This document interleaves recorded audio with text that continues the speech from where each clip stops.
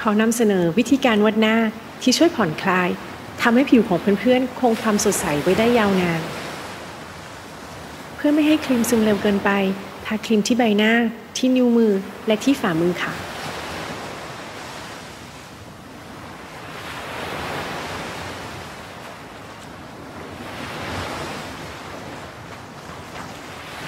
พยายามผ่อนคลายและทำตามกล้าวนะคะ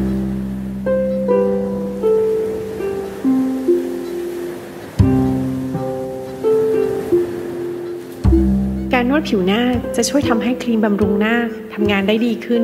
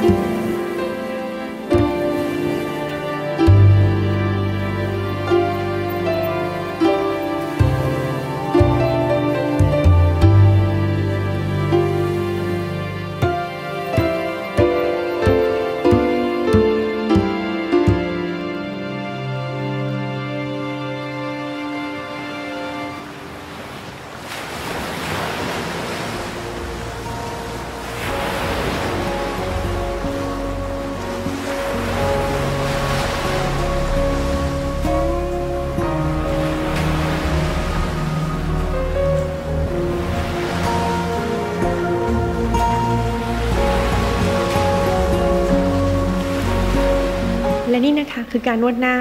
ที่ช่วยทำให้ผิวของเพื่อนๆ คงความสดใสและสุขภาพดี